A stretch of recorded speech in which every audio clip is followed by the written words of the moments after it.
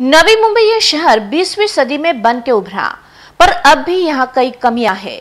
इन्हीं में एक है न्यायालय की इमारत। नवी मुंबई का न्यायालय वाशी न्यायालय के नाम से मशहूर है।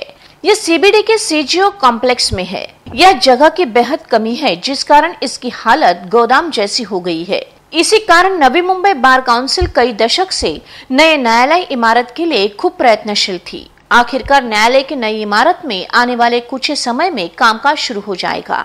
ये उम्मीद जताई जा रही है। आप खुद देख सकते हैं, वाशी न्यायालय की यह भव्य इमारत। यहाँ का छोटा मोटा काम चल रहा है। जल्द ही यह कामकाज शुरू हो जाएगा।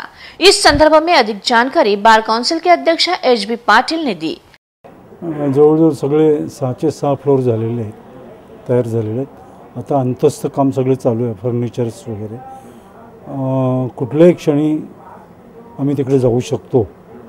जे आर वगैरे आल्यानंतर ओ सी मिळाल्यानंतर कॉर्पोरेशनची.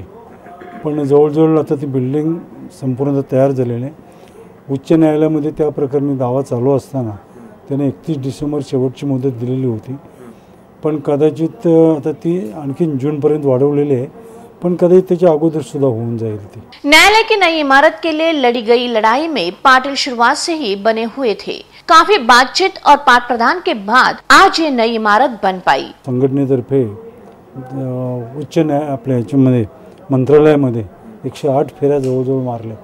आणि त्या एकशे आठ फेऱ्यांच्या माध्यमातून आम्ही बरंचसं काय यशस्वी होऊ शकलो.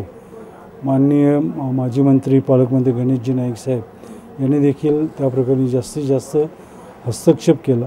आणि जवळजवळ आज साडेचार एकराचा प्लॉट शिडकोतर्फे मिळून दिला. आणि त्यामध्ये आज जवळजवळ वीस कोर्ट तिथे बसणार आहेत. आणि तेवढेच त्यांच्यासाठी राहण्यासाठी तेवढीच जागा आहे. तेवढीच तुमच्या पार्किंगसाठी जागा आहे. अशा सगळ्या प्रकारची सुविधा उशिरा को होईना परंतु नवी मुंबईला ती मिळणार. वीडियो जर्नलिस्ट मूसा के साथ शेखर अम्प्रस की रिपोर्ट.